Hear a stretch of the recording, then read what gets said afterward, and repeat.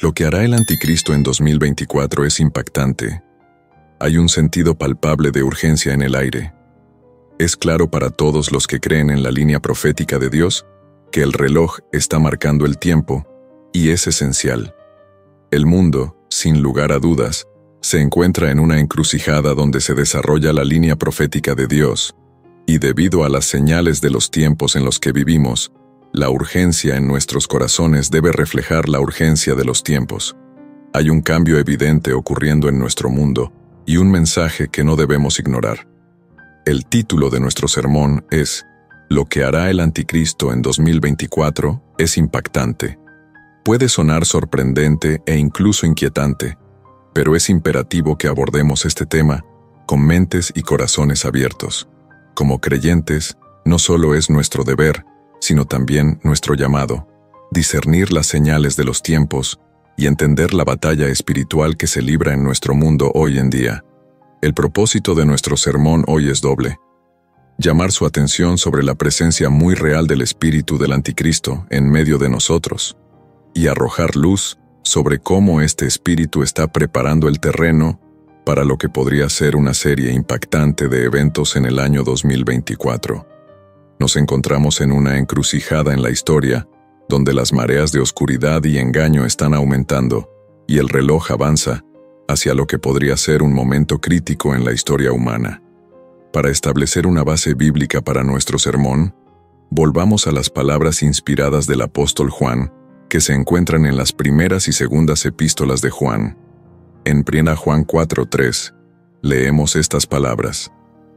Pero todo espíritu que no confiesa a Jesús no es de Dios, sino del anticristo, del cual ya habéis oído que viene y que ahora ya está en el mundo. Notemos la verdad profunda transmitida en este verso. El espíritu del anticristo no es simplemente una amenaza futura, es una realidad presente que ya está trabajando en nuestro mundo. Hay un movimiento en esta tierra del espíritu del anticristo está sucediendo en nuestras naciones, en nuestras instituciones, en la televisión, en las películas e incluso en nuestros vecindarios locales. Existe un verdadero espíritu del anticristo. A menudo, como cristianos, estamos preocupados por el anticristo, el hombre. Sí, el anticristo vendrá como un hombre real, un hombre de carne y hueso. Pero lo que necesitan saber y recordar es que antes de que se revele en el escenario mundial, antes de que dé un paso al frente y tome el centro del escenario, su espíritu ya está trabajando en el mundo, activamente en acción. Así como ustedes están llenos del Espíritu Santo, hay personas que están genuinamente llenas del espíritu del anticristo. Están guiadas y dirigidas por su espíritu. No necesitan ser teólogos para ver el espíritu del anticristo tomando el control del mundo secular. En 1 Juan 2.18, Juan nos advierte, Hijitos, ya es el último tiempo, y según vosotros oísteis que el anticristo viene, así ahora han surgido muchos anticristos, por esto conocemos que es el último tiempo. Las palabras de Juan resuenan con una urgencia que nosotros también debemos reconocer hoy. Estamos en la última hora. Nos dice que incluso en su tiempo había muchos anticristos, aquellos que se oponían a Cristo y buscaban apartar a las personas de su verdad. Ahora pueden preguntarse, ¿por qué es esencial enfocarse en el espíritu del anticristo en lugar de obsesionarse con un individuo específico? La razón es clara. Al entender el espíritu que se opone a Cristo, podemos reconocer mejor sus manifestaciones en el mundo que nos rodea. Podemos discernir las señales de los tiempos no especulando sobre la identidad de una figura en particular, sino observando el aumento de la ilegalidad, el deterioro moral y el engaño que caracterizan nuestra era. ¿Qué hará el espíritu del anticristo en 2024? En esencia, lo que hará el espíritu del anticristo en 2024 es una continuación de lo que ha estado haciendo desde el comienzo de la última hora de la que habla el apóstol Juan. Habrá una clara aceleración en el rechazo de la verdad y una aceptación de la oscuridad. En los últimos 15 años, hemos visto una clara aceleración en el rechazo de la verdad, y esto solo continuará en 2024. El espíritu del anticristo, en su núcleo, está en contra de la verdad. Jesucristo es la verdad. Jesucristo es la luz, y podemos ver cómo las corrientes se están moviendo en este mundo cada vez más, ya que las personas ya no aceptan la verdad absoluta. Estamos viviendo en un mundo donde las personas aman la oscuridad. Observen las tonterías que se están aceptando en el mundo hoy en día. Esto no es natural. Es casi como si el sentido común ya no fuera común. Cada persona tiene su propia verdad y esto continuará. Estamos viviendo en un mundo en el que algunos han rechazado la realidad y han decidido vivir en su propia realidad. En preparación para adorar a un hombre, el acondicionamiento de las personas para seguir y adorar a un líder o figura carismática continuará aumentando en los próximos años, incluyendo en 2024, cuando llegue el anticristo. No le tomará décadas ser reverenciado y adorado. En este momento, los corazones de hombres y mujeres de todo el mundo están siendo sutilmente persuadidos por el espíritu del anticristo para depositar su confianza y lealtad en un hombre, en lugar de en Dios. Las personas tienen la percepción equivocada de que cuando llegue el anticristo, tendrá que transformar el mundo y cambiar drásticamente la forma en que opera. Pero eso no es cierto. Cuando el anticristo aparezca y tome el centro del escenario en la sociedad, el mundo ya estará preparado para él. Desafortunadamente, este mismo espíritu del anticristo está presente en muchas iglesias y entre muchos feligreses. Observen las malas conductas que ocurren en algunas iglesias. Observen la inmoralidad presente en algunos entornos religiosos. Numerosas iglesias parecen estar energizadas y dirigidas por el mismo espíritu del anticristo. Puede ser incómodo de escuchar, pero si el anticristo apareciera hoy y comenzara su reinado, hay iglesias que lo abrazarían. No solo lo aceptarían, sino que lo respaldarían. No solo lo respaldarían, sino que también tomarían su marca y lo adorarían. ¿Por qué? Porque están influenciados por su espíritu, que ya está activo en el mundo, allanando el camino para su aparición. Si el anticristo estuviera aquí hoy, hay personas que conocen que lo aceptarían y aceptarían su marca. A menudo subestimamos la influencia y actividad del espíritu del anticristo en nuestro mundo. 3. El espíritu del anticristo acercará al mundo a la aceptación de la marca. El concepto de la marca de la bestia, como se menciona en el libro de Apocalipsis, es un recordatorio inquietante de las profundidades de engaño que el espíritu del anticristo puede lograr. Aunque no podemos predecir la forma exacta que tomará la marca, las tendencias sociales sugieren que las personas pueden volverse cada vez más propensas a la idea de aceptar una marca o sistema que les otorgue acceso a bienes, servicios y privilegios. Esta aceptación gradual puede hacer que las personas sean más susceptibles a comprometer su fe y lealtad a Cristo por conveniencia y ganancia mundana. Apocalipsis 13, 16, 17 dice, Y hacía que a todos, a pequeños y grandes, ricos y pobres, libres y esclavos, se les pusiese una marca en la mano derecha o en la frente, y que ninguno pudiese comprar ni vender, sino el que tuviese la marca o el nombre de la bestia o el número de su nombre. Durante generaciones, eruditos, teólogos y santos de Dios han reflexionado sobre esta profecía, considerándola como un escenario distante en un futuro inimaginable. Sin embargo, con la velocidad del avance tecnológico y los cambios societales que estamos presenciando hoy en día, esta profecía parece menos como una visión lejana y más como una realidad inminente. La era digital ha traído consigo capacidades que solo podíamos soñar hace unas décadas.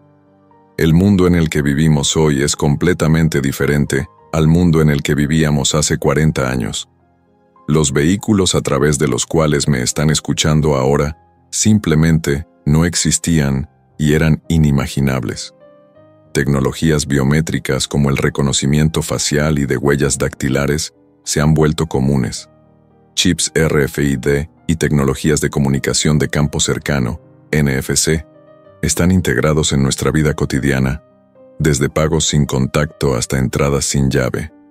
Además, hay un impulso global hacia una sociedad sin dinero en efectivo, donde las monedas digitales y las transacciones en línea se están convirtiendo rápidamente en la norma. Estos desarrollos representan la infraestructura que teóricamente podría respaldar el tipo de sistema descrito en Apocalipsis 13. Además, la creciente interconexión mundial y la convergencia de los sistemas financieros globales significan que implementar un sistema universal como el descrito en la profecía es más factible ahora que nunca antes. Estamos en la última hora, damas y caballeros. Las recientes y sin precedentes eventos, especialmente en los últimos cinco años, han demostrado la capacidad del mundo para unirse y adoptar soluciones unificadas. Esta unidad, aunque prometedora en muchos aspectos, también prepara el escenario para un líder o sistema mundial singular para ejercer la influencia descrita en Apocalipsis. En esencia, aunque no podemos afirmar definitivamente que estemos al borde de presenciar el cumplimiento de Apocalipsis 13, 16, 17, las piezas del rompecabezas están claramente sobre la mesa. El mundo nunca ha estado tan preparado tecnológica y sociopolíticamente para que estos eventos ocurran. Esto es un recordatorio sobrio de la relevancia atemporal de las antiguas profecías y la necesidad de estar vigilantes en estos tiempos cambiantes. El espíritu del anticristo en 2024 continuará trabajando hacia este objetivo. 4. El aumento del pecado y la ilegalidad en la profecía bíblica. Uno de los títulos que destaca prominentemente en la profecía bíblica es el hombre de la ilegalidad. Esta descripción proporciona información sobre el carácter y la naturaleza de una figura del fin de los tiempos que se opone fuertemente al orden divino y la ley de Dios. Este título pinta la imagen de una persona que encarna el caos, la rebelión y un desprecio flagrante por la justicia. El hombre de la ilegalidad es, en muchas interpretaciones, sinónimo del anticristo, una figura que se profetiza surgirá en los últimos tiempos, guiando al mundo por el camino equivocado con su engaño y carisma. La creciente ilegalidad observada en el mundo de hoy es un testimonio de la influencia omnipresente del espíritu del anticristo a medida que las sociedades se alejan de los estándares divinos y los valores bíblicos. El espíritu que impulsa a la humanidad hacia la ilegalidad gana impulso a medida que los tiempos en que vivimos reflejan las profecías mostrando un claro aumento en la desobediencia contra los absolutos morales y la verdad espiritual. El caos, la decadencia moral y la rebelión intensificada contra el orden divino son etapas preparatorias para la manifestación final del anticristo. A medida que avanzamos hacia 2024, la trayectoria parece clara. A medida que el espíritu del anticristo se arraiga aún más, podemos anticipar un aumento en la ilegalidad en todo el mundo. Este espíritu, ya activo e influyente, continuará socavando los límites morales, facilitando un clima propicio para el surgimiento del anticristo.